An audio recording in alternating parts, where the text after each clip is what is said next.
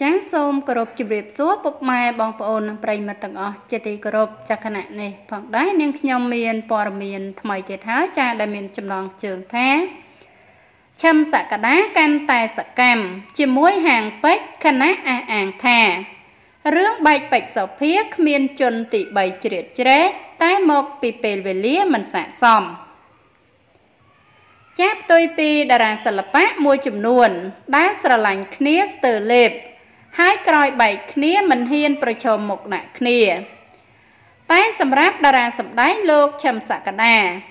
គឺបង្ហាញពីសកម្មភាពយ៉ាងរំភើយតែម្ដង បន្ទាប់ពីមានដំណឹងល្បីរន្ទឺថា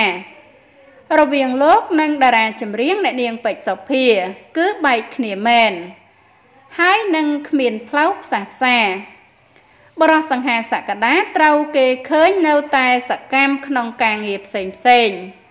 ដោយនៅលើเพจផ្ទាល់ខ្លួន និងเพจហាងពេជ្រ City Diamond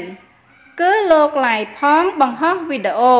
ដែលថតទុកផង បង្ហាញពីស្នាមញញឹម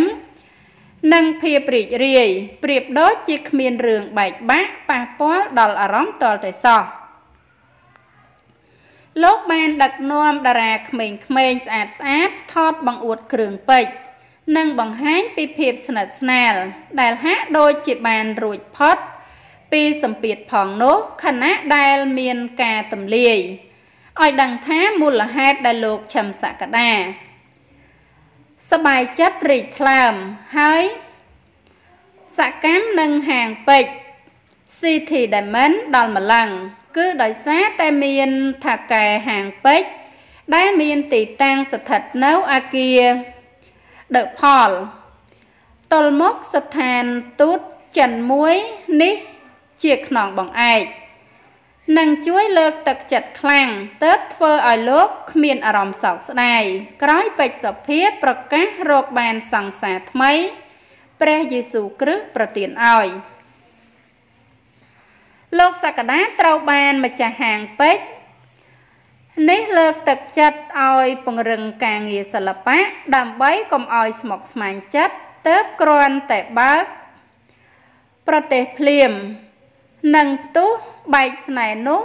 ក៏ទទួលសម្ដែងវិញតែម្ដង បន្ទាប់ពីលោករយាលនិងផ្អាកពីសិល្បៈ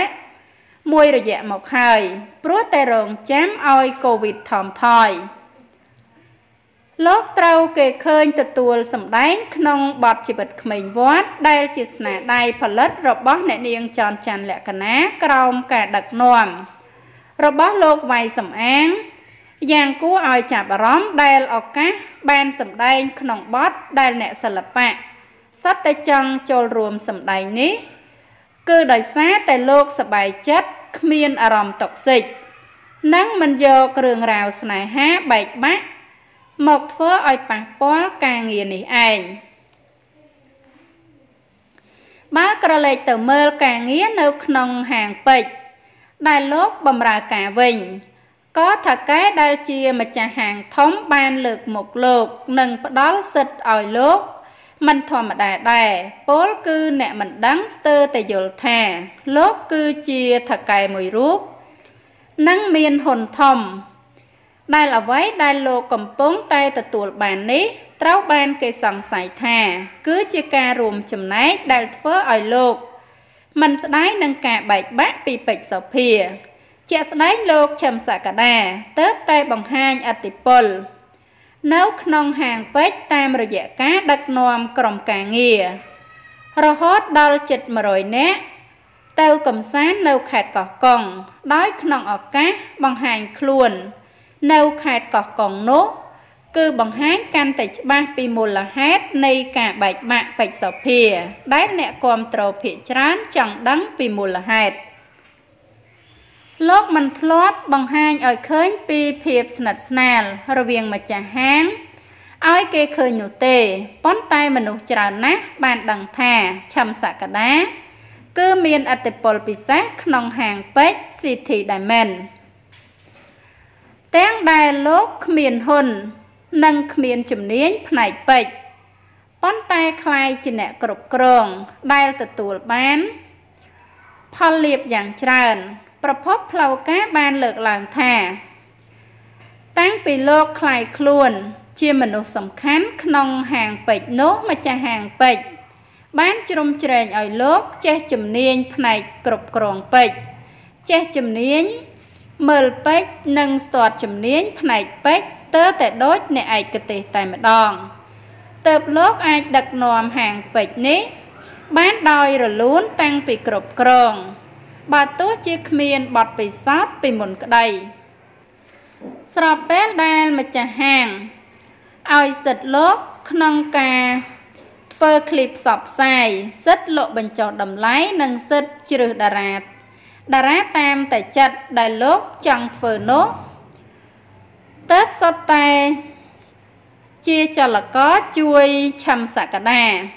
អាចគ្រប់គ្រងហាងពេជ្រធំមួយឲ្យខ្លាំងបានដោយមិនខ្វល់ពីផលប៉ះពាល់ COVID-19 ភាពជោគជ័យក្រោមការគ្រប់គ្រងរបស់លោក បានជួយឲ្យក្រុមហ៊ុននេះ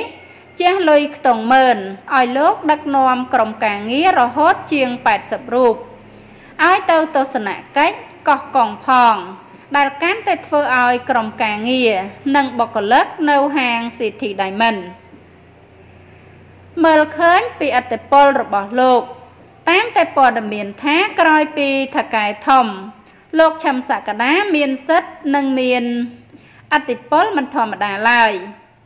ឆ្លើយតបនឹងការលើកឡើងថា ការទទួលឱកាសនៅហាងពេជ្រគឺមូលហេតុធ្វើឲ្យលោកបែកបាក់ពេជ្រសុភានោះលោកបានទទួលស្គាល់លោកឆាំសក្តាបញ្ជាក់ប្រាប់ថារវាងលោកនិងថកែហាងពេជ្រធំនេះ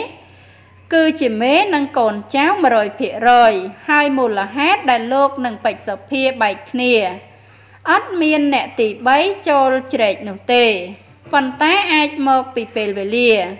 និងបញ្ហាខ្លះៗដែលលោកមិនអាចបញ្ជាក់ប្រាប់បានឡើយតែមកពីលោកពេញចិត្តនិងឱកាសដែលម្ចាស់ហាងពេជ្រនេះផ្ដល់ឲ្យទៅលោកស្ទុះស្ទាក៏ចាត់ទុកដូចជាចំនួនផ្ទាល់ខ្លួនតែម្ដង ដើម្បីធ្វើការឲ្យដល់គោលដៅដែលថកែចង់បាន ចាហើយអត្តបទព័រមានដែលនាងខ្ញុំជម្រាបជូនខាងលើនេះចាគឺមានតែប៉ុណ្ណឹងចាហើយក៏សូមអរគុណដល់ពុកម៉ែបងប្អូននិងប្រិយមិត្តទាំងអស់ចាដែលតែងតែតាមដាន និងគ្រប់គ្រងនៅ Channel របស់នាងខ្ញុំជារៀងរហូតមក ចាសូមអរគុណសូមជម្រាបលា